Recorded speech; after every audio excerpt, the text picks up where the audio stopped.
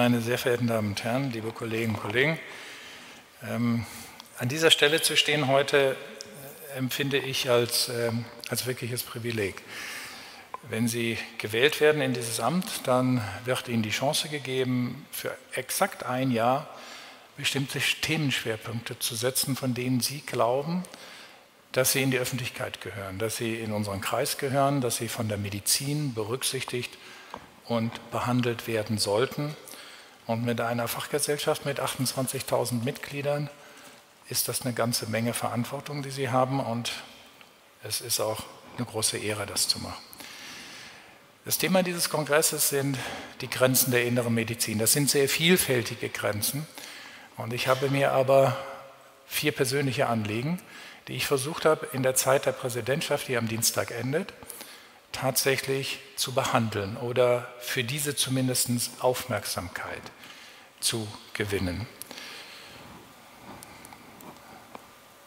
Jetzt müsste ich da drauf drücken und dann geht es weiter. Das tut es aber nicht.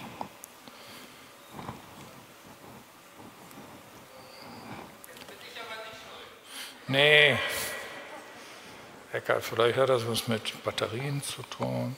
Vielleicht muss man auch dahin zeigen. Manchmal muss man auch so zeigen. Jetzt geht's.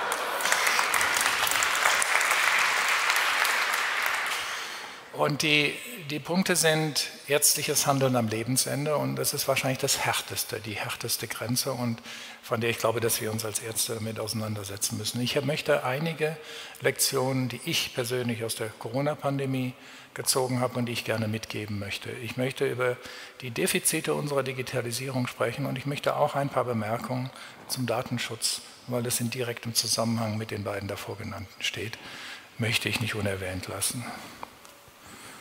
Geht tatsächlich nur so. Wir haben am 26. Februar 2020 ein Urteil des Bundesverfassungsgerichts zum ärztlich assistierten Suizid oder zur Sterbehilfe erhalten. Und mein Eindruck ist, dass wir uns nicht ausreichend mit dieser Frage auseinandersetzen. Warum ist das so? Das Bundesverfassungsgericht hat Folgendes festgelegt. Das allgemeine Persönlichkeitsrecht umfasst als Ausdruck persönlicher Autonomie ein Recht auf selbstbestimmtes Sterben. Es gab Zeiten, da war Suizid strafbar, wenn er überlebt wurde. Das ist dezidiert nicht der Fall. Das Recht auf ein selbstbestimmtes Sterben schließt die Freiheit ein, sich das Leben zu nehmen, die Entscheidung des Einzelnen, seinem Leben entsprechend seinem Verständnis von Lebensqualität und Sinnhaftigkeit der eigenen Existenz ein Ende zu setzen, ist dem Ausgangspunkt als Akt autonomer Selbstbestimmung von Staat und Gesellschaft zu respektieren.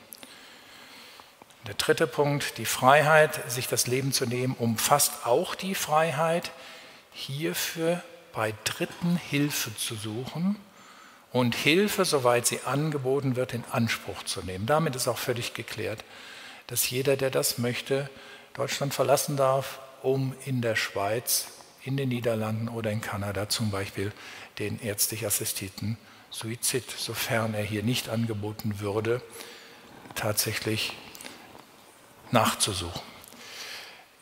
Mein Eindruck ist, dass sehr viel von Juristen über diese Frage zurzeit diskutiert wird, aber nicht von Medizinern außerhalb der Intensivmedizin bzw. der Palliativmedizin. Ich möchte Ihnen jetzt mal aufzeigen, was in anderen Ländern, die dies längst erlauben, tatsächlich dort für Veränderungen vorgehen. Das sind die Zahlen aus der Schweiz. In der Schweiz ist ärztlich assistierter Suizid gesetzlich erlaubt. Ähm, seit 2016 gibt es dort eine Statistik und es werden jährlich etwa 928, zählt man die Ausländer, überwiegend Deutsche, die in die Schweiz einreisen, um ärztlich assistierten Suizid nachzusuchen. Dann sind es noch etwa 100 mehr. Das spricht, entspricht etwa 1,4 Prozent der Todesfälle, die in der Schweiz ähm, jährlich versterben.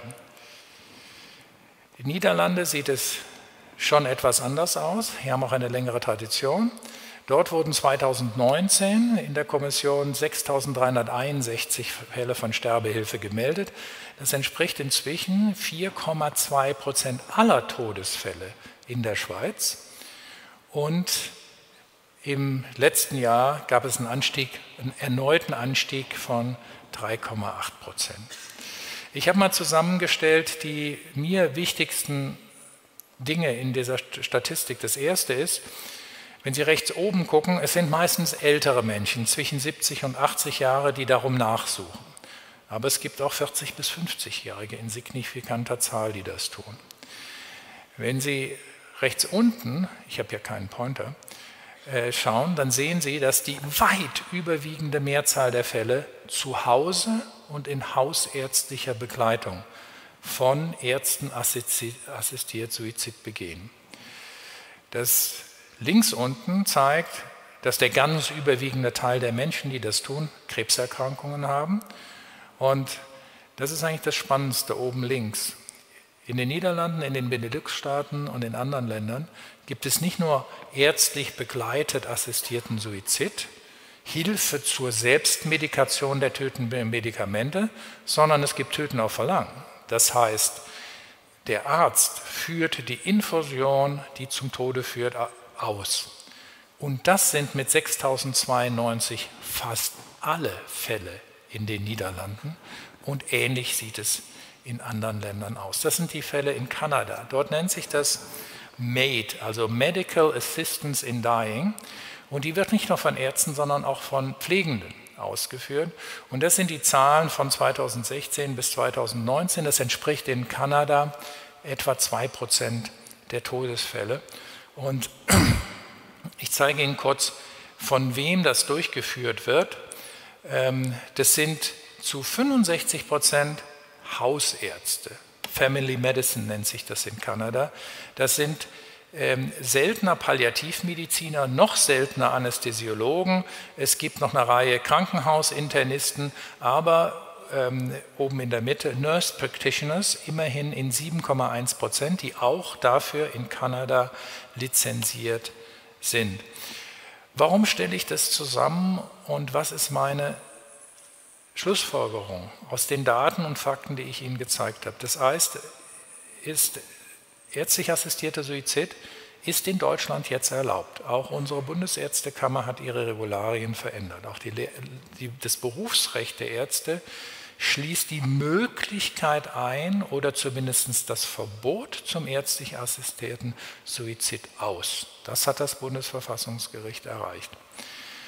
Die meisten Suizide von Patienten werden von Hausärzten begleitet. Es ist kein wirkliches Krankenhausthema. Es ist ein hausärztliches Thema und ich würde unseren hausärztlichen Internisten ans Herz legen, sich mit dieser Materie auseinanderzusetzen, bevor es andere tun.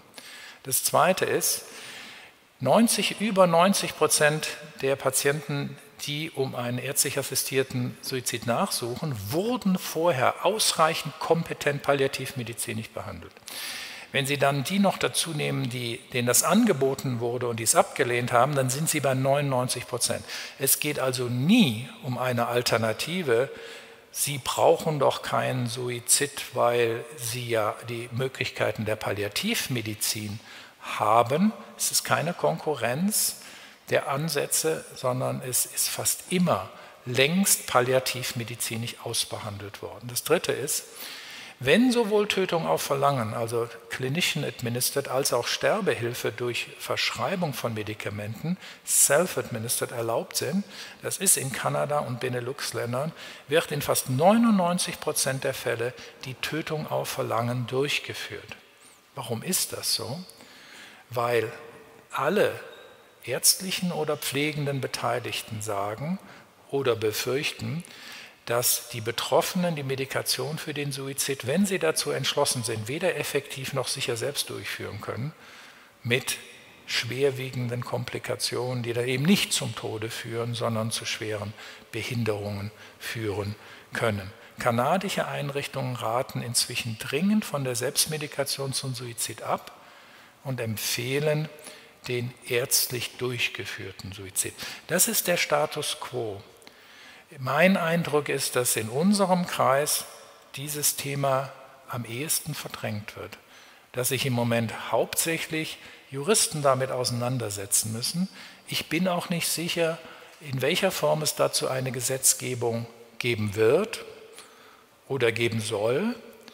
Aber wir müssen intern dieses Thema bearbeiten, wie wir uns dazu stellen, welche Möglichkeiten wir sehen, welche Grenzen wir ziehen wollen, weil die Anfragen der Patienten werden an uns herangetragen und wir können nicht jahrelang die Bedürfnisse der Patienten ignorieren, wie wir das bei der Implantationsdiagnostik jahrelang erfolgreich gemacht haben, sodass alle betroffenen Familien in die gleiche belgische Klinik gefahren sind. Jetzt fahren die Patienten, die diesen Wunsch haben, nach Holland oder in die Schweiz, aber wir müssen uns damit auseinandersetzen, ob wir wollen, dass das so bleibt. Der zweite Punkt hatte ich Ihnen erwähnt, zwei Jahre Corona-Pandemie und welche Lektionen ich persönlich daraus gezogen habe. Das war ein absoluter Stresstest für unser Gesundheitssystem, für unsere persönliche Belastung, auch für unsere persönliche Betroffenheit. Und wir alle rechnen im Moment in Wellen. Man erzählt schon in Degent, ach, weißt du noch in der zweiten Welle damals, ja, als die Intensivstation, dass wir keine ECMOs mehr hatten. Weißt du noch in der vierten Welle, als das mit Omikron anfing. Wir haben inzwischen glaube ich, eine der größten weltweiten Erkrankungen im Sinne einer Pandemie, die wir, an die wir uns erinnern können. Selbst im Vergleich zur Grippeepidemie, Pandemie von 1918, 19. Wir haben 6,2 Millionen gesicherte Todesopfer mit Nachweis des Virus. Die Dunkelziffer wird um ein Vielfaches höher sein. Wir haben inzwischen eine halbe Milliarde Menschen, die daran erkrankt sind. Und wenn man sich die Zahlen für Deutschland anguckt, dann sind es Stand letzte Woche immerhin schon 23 Millionen bestätigte Fälle. Die Dunkelziffer ist wahrscheinlich doppelt so hoch. Und immerhin fast 140.000 Todesopfer. Das hat auch keine Grippeepidemie in den letzten 20 Jahren an Todesopfern bei uns gefordert. Wie haben wir darauf reagiert? Es gab in einer faszinierenden Geschwindigkeit eine Möglichkeit, die Krankheit zu verhindern. Durch die Impfung, durch die RNA-basierte Impfung, die von zwei Unternehmen konkurrierend und hocheffizient an den Start gebracht worden ist. Und ich persönlich habe mit großem Enthusiasmus beobachtet, wie die Impfwelle ähm, anstieg, nachdem die Impfung im Dezember 2020 eingeführt war. Am Anfang gab es Prozesse gegen Bürgermeister, die sich illegalerweise vier Tage vor dem eigentlichen Impfstart oder wann sie dran gewesen wäre, den Impfstoff besorgt hatten. Das waren die Skandale im Dezember und im Januar 2020. Dann kam ein anderer Skandal. Wir stellten nämlich plötzlich fest, dass ab Juli, Juli, August 21 die Impfquoten überhaupt nicht mehr zunahmen. Wir, die Gesundheitspolitik hatte Sorge, dass sie nicht genug Impfstoff be, hätte beschaffen können und es passierte etwas völlig anderes. Ein Viertel der Bevölkerung ließ sich nicht impfen. Ein Viertel der Bevölkerung lässt sich auch heute noch nicht impfen. Ab Oktober ging es dann los mit den Boosterimpfungen. Die gleichen, die sich zum ersten Mal haben impfen lassen, ließen sich dann auch boostern, aber keine neuen. In meiner eigenen Einrichtung sind wir so weit gegangen, dass ich persönlich versucht habe, Impfvideos in türkischer und serbokroatischer Sprache zu produzieren, um auch noch die ne-, letzten Nester der Resistenten tatsächlich zu überzeugen. Und Eckhard von Hirschhausen ist darauf eingegangen, diese Anzahl wird nicht mehr weiter steigen, wenn nicht wirklich etwas Dramatisches passiert. Und ich kann Ihnen nicht beantworten, warum.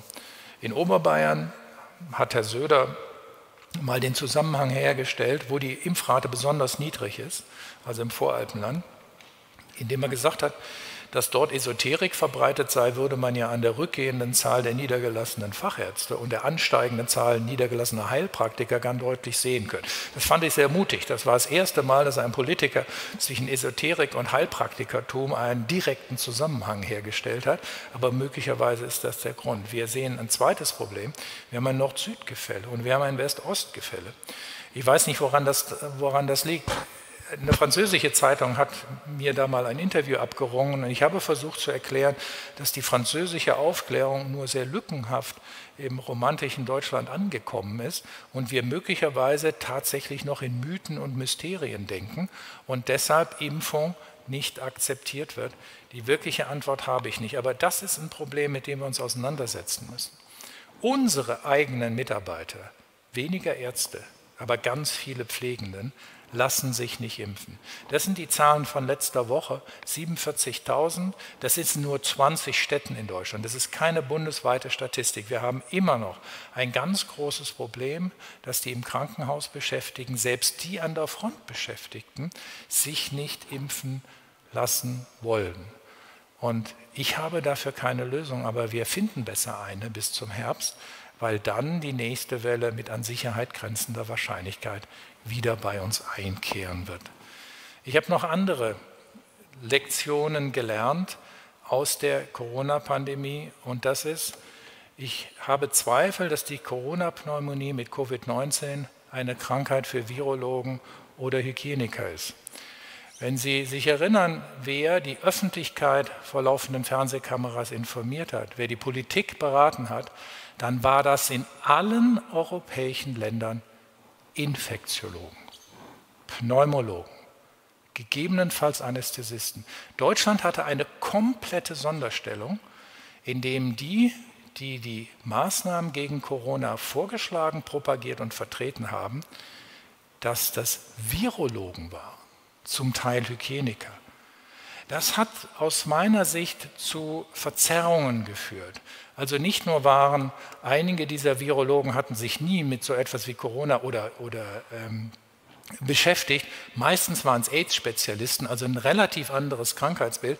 Aber die Empfehlungen gipfelten dann in so etwas, ein Artikel aus dem Deutschen Ärzteblatt, Covid-19-Patienten husten Viren durch chirurgische Masken und Baumwollmasken hindurch, übrigens auch durch FFP2-Masken. Da sind sie hingegangen und haben die Porengröße gemessen. Das Coronavirus ist ungefähr 100 Nanometer groß. Wenn diese Poren in dieser Maske 120 Nanometer waren, wurde daraus publiziert, dass die Masken nicht schützen können. Jeder Infektiologe in Deutschland hätte gesagt, jede Atemschutzmaske schützt vor bakteriellen und viralen Infektionen. Das ist Erfahrungsschatz, das ist vielfach belegt. Auf sowas kann nur ein Virologe kommen. Und das hatte wirkliche Konsequenzen, weil die Masken lange verteufelt und abgelehnt wurden. Das Zweite ist, Sie sehen dieses Instrument da rechts. Das geht auf eine Studie der Hygieniker zurück. Die haben nämlich Abstriche an Türklinken gemacht, haben dort Virusreste gefunden und haben gesagt, das Händeschütteln ist ein wirklich wichtiger Übertragungsweg dieses Virus. Ähm, das können Sie bei Amazon kaufen. Jetzt geht das Ding wieder nicht. Sie dürfen noch mal klicken. Ich kann nämlich nicht. Nee, wieder zurück. Ja, Sie kriegen einen kontaktlosen Türöffner bei Amazon für 4,99, um dem, was die Hygieniker uns vorgeschlagen haben, zu ergehen, dass sie keine Klinke mehr anfassen sollen. Ähm, das nächste Bild und auch diesen Gruß, den wir alle noch praktizieren, nächstes bitte, ja, den haben wir dem zu verdanken, dass durch Händeschütteln Corona übertragen wird. Pneumonologen, Infektiologen, auch Intensivmediziner wären darauf primär nicht gekommen, dass man durch RNA-Nachweis auf einer Oberfläche einen Infektionsmodus postulieren sollte. Dort hat sich etwas getan und ich betrachte das als einen der größten berufspolitischen Erfolge der letzten Jahre, die BDI und DGIM in der letzten Zeit erstritten haben, ist das nämlich die Tatsache, dass am Mittwoch, den 5. Mai, tatsächlich ein Facharzt für Infektiologie in Deutschland eingeführt worden ist. Ein Tatbestand, den es in anderen Ländern längst gibt, den unsere Nachbarländer alle haben und der jetzt bei uns mit reichlicher Verzögerung erfolgt ist. Warum ist es dann gelungen? Weil ich glaube, auch die andere Ärzteschaft gelernt hat, dass man in einer Corona-Pandemie die Hilfe von Pneumonologen, Intensivmedizinern und Infektiologen aus der inneren Medizin braucht und nicht unbedingt den Virologen. Was nämlich passiert ist, ist, dass die Zusatzweiterbildung für Infektiologie konnte plötzlich von Hygienikern und Infektiologen erworben werden. Das hat es am Ende leichter gemacht, auf dem Boden der Pandemie die Argumente zu finden, dass wir einen Infektiologen auch in Deutschland brauchen werden. Was waren die Werkzeuge, die wir benutzt haben? Also in Deutschland nicht so viele. In anderen Ländern sind wir da weiter gewesen. Die großen Studien zur Behandlung von Covid-19, Recovery und andere kamen alle aus Großbritannien und anderen Ländern. Wir haben da noch nicht so viel zu beigetragen. Eines der Werkzeuge, das ist jetzt kein unbedingt internistisches, ist die PCR-Testung, die wir in allen unseren Kliniken mit Windeseile durchgesetzt haben. Das hat, glaube ich, ganz gut gepasst. Aber durch Testen verschwindet eine Krankheit noch nicht. Die hilft ihnen nur, die Betroffenen zu isolieren. Die wirklich wichtigen Werkzeuge waren die. Die Faxmaschine zum Datenaustausch zwischen Krankenhäusern und Gesundheitsämtern und die Corona-App, die viele als große Errungenschaft sehen. Ich selber erinnere mich sehr schmerzhaft dass sechs Mitarbeiter des LMU-Klinikums gleichzeitig versucht haben, die gesetzlich vorgeschriebenen Meldungen ans Gesundheitsamt zu machen. Es gibt nur eins, das für uns zuständig ist, und die haben nur eine Faxmaschine. Und diese Faxmaschine hatte einen Papierstau. Wir konnten über Stunden keine Meldung von Corona machen und mit welchem Zeitverzug eine nicht digitale Meldung es gibt übrigens seit einem Jahr ein vorgeschlagenes Meldeprogramm, was aber noch in einer Beta-Version nicht zur Verfügung steht. Wir sind da nicht besonders schnell. Die Corona-App halte ich für einen großen Misserfolg. Auch wenn die, die sie eingeführt haben und auch die Datenschützer sie für einen Erfolg halten. Sie ist 41 Millionen Mal in Deutschland runtergeladen worden. Man muss aber wissen, dass zwei Drittel der Handys, die heute im Umlauf sind, diese App nicht verwenden können, weil es von der Software nicht passt. Sie müssen wissen, dass von den Corona-Fällen, die vorhanden waren, nur 20 Prozent gemeldet wurden von den Erkrankten, weil man ja das Prinzip der Freiwilligkeit hatte. Und es sind nur jeder vierte oder fünfte Fall von jemandem, der eine Corona-App hat, der eine Corona-App betreibt, meldet die Tatsache, dass er an Corona erkrankt ist. Und ich glaube, das war keine Erfolgsgeschichte, das haben andere Länder ganz anders gehandhabt. Das bringt uns zum Grad der Digitalisierung in Deutschland. Hajo Krömer hat bei der Eröffnungssitzung dazu einen Vortrag, einen äh, sehr guten Vortrag gehalten. Ich möchte ein paar Nebenaspekte aus dem Krankenhausbereich äh, hier erwähnen. Äh, MRAM ist eine der Klassifikationen, wie gut unsere Krankenhäuser in verschiedenen Leveln digitalisiert sind. Und was Sie hier sehen, sind verschiedene Länder, die aufgetragen sind, die verschiedenen Level. Sieben ist der höchste Level der Digitalisierung, die Sie danach erreichen können, wenn Sie durchgängig elektronische Patientenakten haben. Die gibt es nur in den Niederlanden und den USA. Level 6 gibt es dann schon in einzelnen Ländern, in Deutschland in ganz seltenen Fällen. Wenn Sie die Summe bilden, das ist die unterste Zeile, dann sehen Sie, dass der Mittelwert in Deutschland bei 2,3 liegt, in Dänemark bei 5,4, in den USA bei 5,3 und die Türkei einen deutlich höheren Digitalisierungsgrad in ihren Krankenhäusern hat als wir. Etwas bedenklicher noch finde ich die Tatsache, dass wenn Sie das Ranking von 2016 und das Ranking von 2018 ansehen, dann fällt Deutschland weiter zurück hinter andere Länder. Das signalisiert, dass wir keine wirklich überzeugenden Anstrengungen unternehmen, unsere Krankenhäuser oder unsere Gesundheitssysteme, hier geht es um die elektronische Patientenakte, tatsächlich zu digitalisieren. Wie kann man das machen? Sie sehen, dass Dänemark in beiden Jahren in der Spitzenposition liegt. Ich zeige Ihnen mal, was die Dänen machen. Das ist die elektronische Patientenakte in Dänemark. Dort ist zentral für das gesamte Land und alle fünf Regionen abgelegt in einer zentralen Datenbank für Haus- und Fachärzte, für alle Leistungserbringer, die ihre Daten dort eingeben, einschließlich Physiotherapie, Apotheke, selbst Homöopathen, wenn es sie gäbe, müssten dort ihre Daten eingeben. Es gibt ein komplettes digitales Bild- und Laborbefundarchiv. Jedes Röntgenbild jedes Dänen ist dort abgelegt. Es gibt einen elektronischen Medikationsplan, es gibt elektronische Rezepte, einschließlich aller Folgerezepte. Sie können also immer nachverfolgen über Jahre, welche Medikamente verschrieben und ausgegeben wurden von den Apotheken. Es gibt selbstverständlich ein elektronisches Impfregister, nicht nur für Covid, für alle Impfungen. Es gibt eine elektronische Patientenverfügung, einen Organspendeausweis. Sie können online über diese Patientenakte eine Terminvergabe beantragen und es wird nachgehalten, über diese elektronische Patientenakte, wie schnell Ihnen der Termin gegeben wurde. In jedem verschiedenen Krankenhaus. Mit Echtzeit-Wartezeiten. Sie können sich Ihre Patientenbewertung dort hinterlegen. Sie können sich einschreiben in Vorsorge- und Screening-Programme, einschließlich des Kolonkarzinom-Vorsorge. Sie werden dort registriert als Blut- oder Stamm- oder Eizellspender. Und Sie können sich auch in, in, in klinische Studien einschreiben, wenn Sie daran teilnehmen möchten und Sie können mit allen Partnern webbasiert kommunizieren. So sieht ein digitales Krankenhaussystem aus. Und ich bin relativ sicher, dass das bei uns nicht kommen wird. Und zum Teil liegt das auch an unserem eigenen Widerstand. Ich gehe mal eine Nummer kleiner. Es geht hier nur um die elektronische Gesundheitsakte, also die Telematikinfrastruktur, die zehn Jahre komplett blockiert wurde. Und ich hatte mir erlaubt, in einem Leitartikel dazu Herrn Axel Brunngraber zu zitieren, der nämlich vor zehn Jahren, vor elf Jahren beim Ärztetag gesagt hat, wir haben in den vergangenen Jahren wichtige Bollwerke geschaffen und das Projekt auf Jahre hin gestoppt und das werden wir auch weiter durchhalten. Als ich das geschrieben hat, hat mich Herr Brunngraber kontaktiert, der ist nämlich einer von uns, der ist Internist in Hannover und hat gesagt, wir haben das doch aus ganz anderen Gründen gemacht und ich möchte Ihnen das auch wiedergeben, weil er wahrscheinlich jetzt gerade zuguckt virtuell.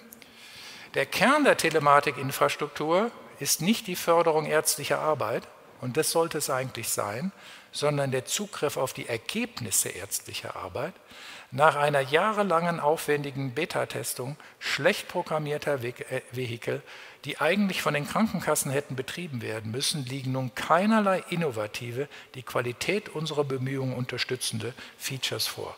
Stattdessen prägen gravierende funktionelle Defizite den Alltag des Projektes seit über zehn Jahren. Und das sind, ist einer der Gründe, warum wir uns Ärzte damit so schwer tun. Diese ganzen Programme und Strukturen wurden nicht von uns geschaffen. Die wurden uns übergestülpt und wir waren viel zu selten und viel zu äh, marginal daran beteiligt. Auch die Krankenhausinformationsprogramme, die sind für Programmierer, Abrechner, Rechtsabteilungen und Verwalter geschrieben worden, aber nicht für unsere Ärztetätigkeit. Und das müssen wir auch ändern. Und das bringt mich zum letzten Punkt. Datenschutz und DSGVO. Da ist es sehr gefährlich, sich kritisch darüber zu äußern. Warum ist das so? Das war jetzt eine zu viel. Lassen Sie es einfach. Unternehmen mit mehr als 20 Mitarbeitern, die personenbezogene Daten verarbeiten, das ist praktisch jede, jede äh, Firma mit Mitarbeitern, benötigen Datenschutzbeauftragte nach DSGVO. Das ist seit 2016 von Jan Philipp Albrecht, heute Minister in Kiel, damals Europaparlamentarier, praktisch im Alleingang durchs Europaparlament durchgebracht worden, dieses Gesetz. Mit welchem Ziel? Der wollte vor dem Missbrauch der Daten durch Google, Apple, Amazon und vielleicht sogar die Schufa. Dagegen wollte er die Bürger schützen. Das Gleiche wird aber auch auf den Medizinbereich und auf alle Bereiche des Lebens angewandt. 200.000 Unternehmen in Deutschland unterliegen der DSGVO und müssen, wenn sie es noch nicht haben, einen DSGVO, einen Datenschutzbeauftragten ernennen. 35 Prozent der Unternehmen machen, sourcen das out. Ja, die nehmen einen, der nicht Mitarbeiter ist und delegieren das an dem.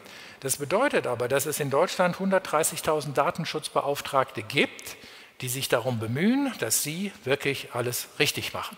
Oder die kontrollieren, ob sie alles richtig machen. Nur mal im Vergleich dazu. Wir haben in Deutschland 100.000 Steuerberater und 4.000 Steuerfahnder.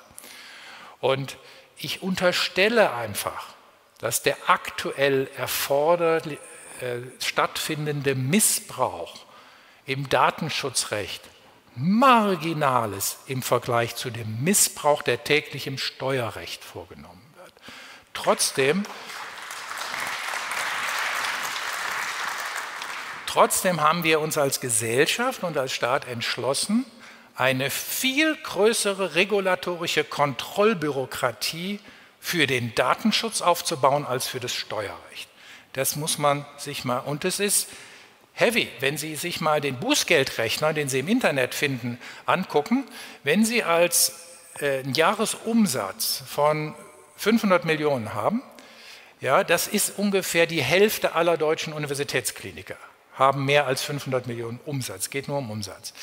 Wenn sie dann eine Art des Datenschutzverstoßes hat, der nicht formell, sondern materiell ist, und wenn der dann in der Klassifikation von 1 ist hier leicht, mittelschwer, sehr schwer, sehr schwer ist, dann zahlen Sie ein Minimum-Bußgeld von 10 Millionen und ein Maximum-Bußgeld von 20 Millionen. Das ist auch deutlich schärfer, als das im Steuerrecht gehandhabt ist oder in anderen. Warum sage ich Ihnen das? Ähm, wir haben darüber hinaus unterschiedliche Regelungen in den Ländern. Äh, wir haben in Bayern, ich will jetzt nicht auf die Details zwischen den Ländern eingehen, aber wir haben in Bayern haben wir eine Sonderregelung, dass sie zwar mit Daten von Patienten im Krankenhaus forschen dürfen, aber nur, wenn es im Forschungsinteresse des Krankenhauses ist. Das finde ich ganz interessant.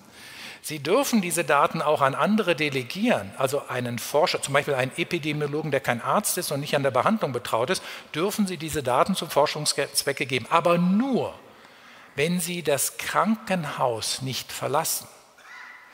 Also ein 40 Jahre altes Gesetz denkt in Mikrofilmen und Papierakten und zwingt sie, die nicht, das hat für uns gravierende Konsequenzen, weil die Firewalls in Bayern sind völlig unvergleichbar hoch im Vergleich zu jedem anderen Bundesland. Das darf ich Ihnen bestätigen.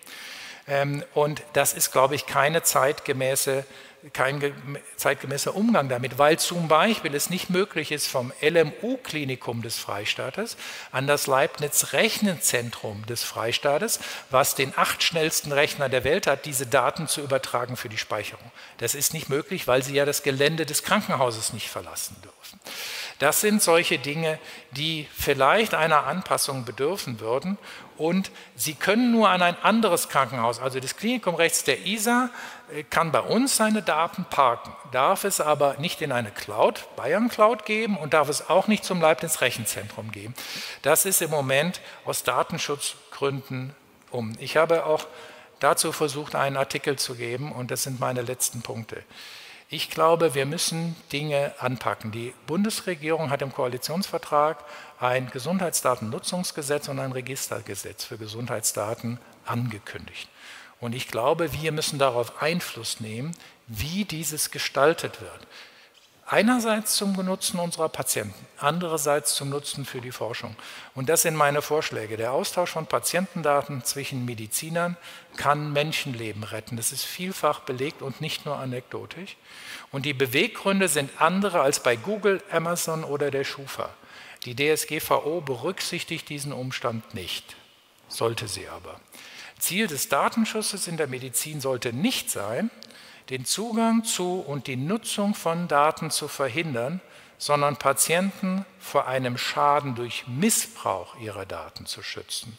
Und da liegt, glaube ich, aus meiner Sicht das Fehlverständnis einiger, längst nicht aller Datenschützer, dass sie dort eine andere Philosophie haben, dass es um Verhinderung des Nutzungs, um potenziellen Missbrauch zu verhindern. Es geht darum, Schaden durch Missbrauch zu verhindern und das sind aus meiner Sicht zwei unterschiedliche Dinge. Die wichtigsten Forschungsergebnisse und Behandlungsfortschritte zur Bekämpfung der Corona-Pandemie kamen nicht aus Deutschland. Unsere Auslegung der DSGVO ist einer der Gründe dafür. Und Datensparsamkeit und Fristvorgaben zur Vernichtung von medizinischen Daten sind eine gigantische Verschwendung menschlicher, wirtschaftlicher und wissenschaftlicher Ressourcen. Wir hatten in Deutschland den weltweit größten jemals aufgezeichneten Ausbruch von Trichinose 1982 in Bitburg. Da gab es ein großes Volkfest, alle haben rohes Mett gegessen und 137 Leute haben eine Trichinose entwickelt. Das hat die einzigen Behandlungsverläufe weltweit zu dieser Epidemie, die es ja war, stammen aus Deutschland. Alle Akten Health Records hätten, hätte die DSGVO gegolten, 1997 komplett vernichtet werden müssen. Wir wüssten nichts über den 40-jährigen Verlauf der Erkrankung. Wir wüssten nichts über Effektivität irgendeiner Therapie gegen die Trichinose. Und Daten nach 15 Jahren zu vernichten, ist aus meiner Sicht komplett grober Unfug. Das sind meine persönlichen Forderungen. Die Angabe von anonymisierten Daten in klinischen Studien, in Krankheitsregistern, wir reden von anonymisierten Daten, sollte keine persönliche und individuelle Zustimmung erfordern. Dies wird ja im Steuer-, Melde-, Verkehrs- und Personenstandsrecht auch nicht vorgegeben, dass Sie anonymisierte Daten nicht ausgeben dürfen. Warum soll das nicht mit Gesundheitsdaten passieren? Das Zweite ist, die Frist zur Löschung von medizinischen Daten aus klinischen Studien und Krankheitsregistern gehört abgeschafft. Langzeitbeobachtungen sind dann unmöglich. Ich habe Ihnen das Beispiel der Trichinose genannt. Datenminimierung, einer der wichtigsten Grundsätze von Herrn Kelber, dem Bundesdatenschutzbeauftragten, machen überhaupt keinen Sinn in der Medizin. Wir müssen alles, was wir irgendwie kriegen können, über unsere Patienten sammeln dürfen weil nur daraus ergeben sich individuelle äh, Konstellationen für die Behandlung des einzelnen Patienten. Und nur daraus lassen sich Forschungszusammenhänge zwischen Gesundheitswirkungen oder schädlichen Wirkungen, lassen sich nur dort raus äh, extrahieren, wenn alles gesammelt werden darf, was verfügbar ist und was zur Verfügung gestellt wird und nicht der Grundsatz der Datenminimierung in der Medizin gilt. Und letzter Punkt, eine enge Zweckbestimmung des Datennutzungs, die über die Nutzung für die Erforschung von Krankheitsursachen oder von Behandlungsergebnissen hinausgeht, darf es nicht mehr geben. Ich habe 20, fast 20 Jahre in verschiedenen Ethikkommissionen gesessen. Und es war immer so, dass man beantragt hat, aus einer Hypertonie-Studie die Daten re zu evaluieren für Diabetes und Herzinsuffizienz. Und was passiert dann? Dafür wurde aber nicht die ursprüngliche Zustimmung gegeben, also darf das nicht erfolgen. Das heißt, die Zustimmungen müssen breit sein, sonst machen sie keinen Sinn und Daten dürfen nicht wieder und wieder und wieder genutzt werden, wie wir das in epidemiologischen Studien ganz selbstverständlich tun, müssen wir das auch mit Routinedaten können. Meine Damen und Herren, zwischen Ihnen und dem Empfang der Stadt Wiesbaden steht nur noch meine letzte, noch mal eins zurück, das war zu schnell. Ärztliches Handeln am Lebensende, Lektionen der Corona-Pandemie, Defizite in der Digitalisierung und Datenschutz in der Medizin. Das waren die vier Grenzen der Medizin, wo ich mir die Freiheit genommen habe, Ihnen mit auf den Weg zu geben, sich vielleicht damit auseinanderzusetzen und auch als Fachgesellschaft dem eine gewisse Priorität einzuräumen. Es ist mir eine wirklich große Ehre und ein echtes Privileg, hier heute vor Ihnen stehen zu dürfen. Ich danke Ihnen sehr herzlich für Ihre Aufmerksamkeit und Ihre Zeit. Dankeschön.